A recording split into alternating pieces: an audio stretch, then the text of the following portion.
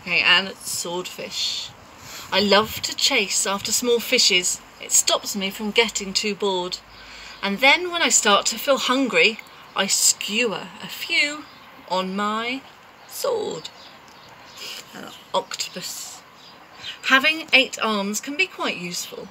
You may think it looks a bit funny, but it helps me hold all my children and tickle each one on the tummy. A stingray. At the bottom of the ocean, the stingray flaps his wings, but don't get too close to him because his tail really stings. And lobsters. Never shake hands with a lobster. It isn't a wise thing to do. With a clippity clap and a snippety snap, he would snip all your fingers in two. In the deep sea. Miles below the surface, where the water's dark and deep, the most amazing creatures that you sorry, live the most amazing creatures that you could ever meet.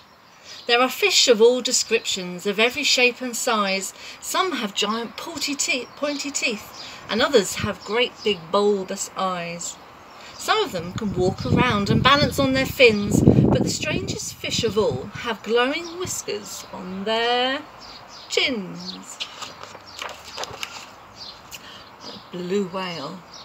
There's no other beast on the planet as big as the giant blue whale. He measures a massive 100 feet long from his head to the tip of his tail barnacles. We're just a bunch of barnacles and all we do is cling. We know it's not that glamorous, but it's our favourite thing. A walrus. Our bodies are covered with blubber and our tusks are incredibly long. We're grumpy and proud and we bellow out loud to show that we're mighty and strong. Uh, penguins.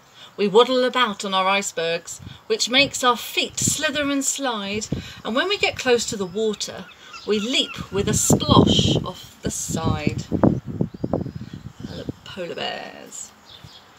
Deep out in the Arctic, the mummy polar bear snuggles up with all her children as it's very cold out there.